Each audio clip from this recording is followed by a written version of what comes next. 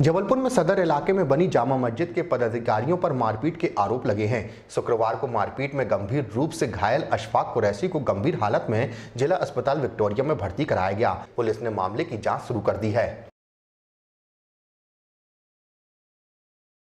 मस्जिद को लेकर।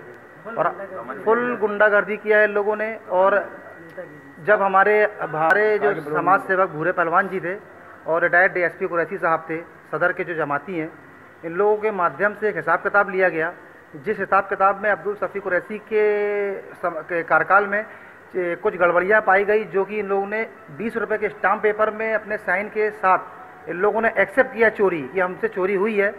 अब वो चोरी हुई है तो चोर तो चोर कहलाएगा।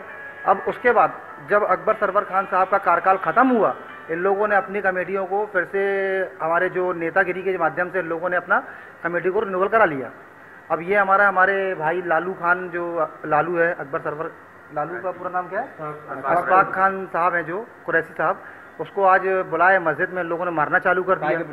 और इन लोगों का विरोध ये था कि, कि किस ऐलान को लेकर कि भाई आप लोगों ने ये ऐलान जो किया है किसने कंटोनमेंट बोर्ड में कंप्लेन की है?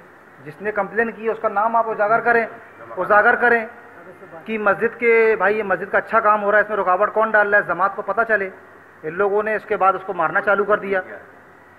मारना मारा है? इन लोगों ने हाथ से मारा अब्दुल सफ़ी कुरैसी ने मारा है इसको असलम घोसी ने मारा है इसको और अकबर सिद्दीकी ने मारा है जो कि है।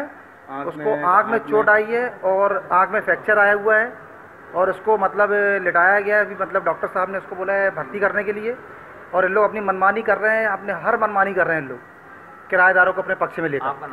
मेरा नाम मोहम्मद शरीफ है सदर में रहता हूँ मैं। और मैं आपसे निवेदन करता हूँ कि एसपी साहब तक